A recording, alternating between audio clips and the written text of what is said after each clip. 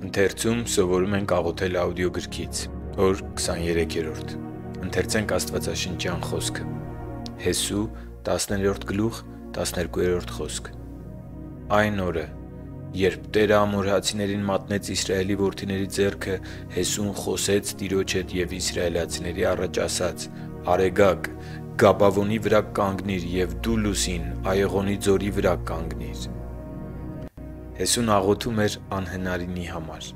Պատերազմը թեժ էր, և պետք էր թշնամուն մինչև վերջ հալածել։ Եվ Հեսուն աղոթեց։ Նա աղոթեց, և Արեգակն ու Լուսինը կանգնեցին իրենց տեղում այնքան ժամանակ, մինչև Աստծո ժողովուրդը ավարտին հասցրեց թշնամուն հալածելն ու վերջնական հաղթանակն ապահովելը։ Մեր կյանքում նույնպես լինում են իրավիճակներ, որոնց լուծման համար անհնարին ու գերբնական միջամտություններ են անհրաժեշտ։ Իրավիճակներ, որոնցից անպատճառ հաղթանակով ենք դուրս գալու, եթե մեր հայացքն ուղղենք անհնարինը հնարավոր դարձնող Աստծուն։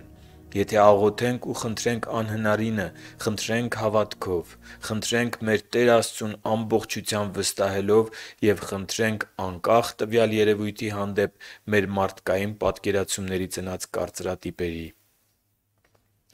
Աստված կարող է Արեգակն էլ կանգնեցնել։ Սա դեմ է գիտությանն ու բնության օրենքներին, սակայն Աստված Ինքն է այդ օրենքները կարգողը։ Հեսուն աղոթեց՝ հավատալով Աստծո գերբնական միջամտությանն ու ամենակարողությանը։ Աստված ամենակարող է։ Ամենակարող նշանակում է, որ Նրա համար չկա անհնարին ոչինչ։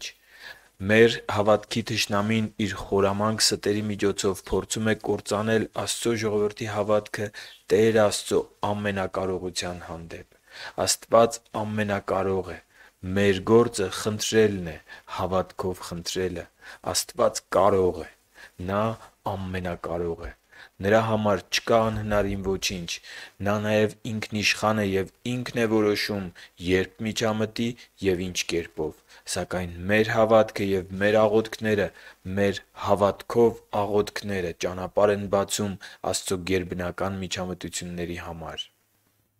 Հավատքի բացակայությունն ու աղոթքի կյանքի բացակայությունը մեծագույն արգելքներ են Աստծո միջամտության համար։ Հեսուն աղոթեց, և Արեգակը կանգնեց այնքան ժամանակ, մինչև Իսրայելի բանակն ավարտեց թշնամուն հալածելը։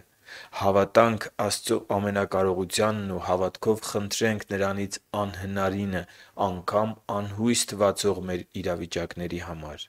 Հեսուն աղոթեց և հաղթեց։ Սովորե՛նք աղոթել։ Սովորե՛նք հաղթել։ Սիրելի՛ մարդ Աստծո,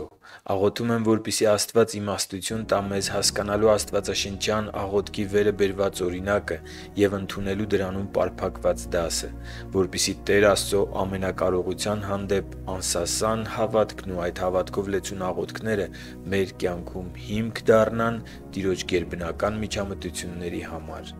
Աղոթում և խնդրում եմ Տեր Հիսուսի զորավոր անունով։ Ամե՛ն։ Սովորում ենք աղոթել աուդիոգրքի հեղինակ Արման Մանուկյան